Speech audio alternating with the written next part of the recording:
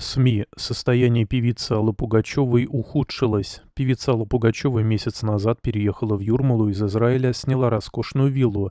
Вместе с тем она не появляется на публике, об этом пишет одно известное издание. В частности, Примадонна не посетила музыкальный фестиваль своей близкой подруги Лайма Вайкули, который ранее, который ранее удостаивала своим присутствием каждый год.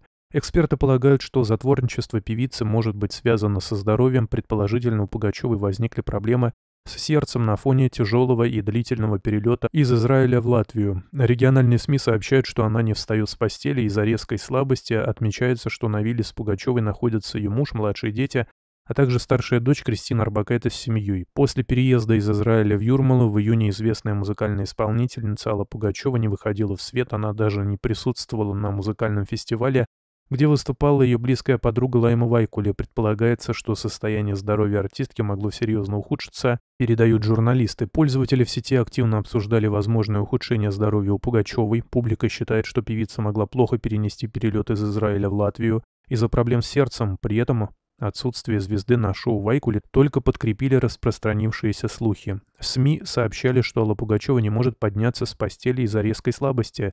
В данный момент с ней находятся супруг и дети. На днях также в Юрмалу прибыла ее старшая дочь Кристина Арбакайта. Певице даже пришлось прервать отпуск с мужем и дочкой ради встречи с мамой.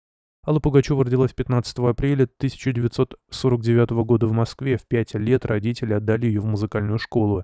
И тогда же она впервые вышла на большую сцену. В сборном концерте в колонном зале Дома Союзов в детстве личность будущей Примадонны формировали с одной стороны занятия музыкой, а с другой довольно жесткая послевоенная дворовая среда. Свою первую песню для всесоюзного радио «Робот» Пугачева записала еще будучи студенткой музыкального училища, где посещала один курс с Михаилом Шафутинским, Орликина, «Миллион алых роз», «Паромщик», а вместе с ними и всесоюзная слава будет позже. В середине 60-х Пугачева только начинают приглашать участвовать в концертах, приходит первая популярность.